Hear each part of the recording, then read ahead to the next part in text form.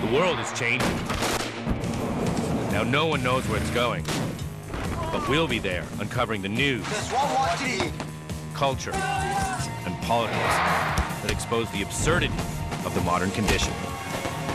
That little child has a huge gun. This scene isn't uh, really kosher by American standards. I was interviewing suicide bombers and they were kids. This is the world through our eyes. We win or we die! This is the world of Vice.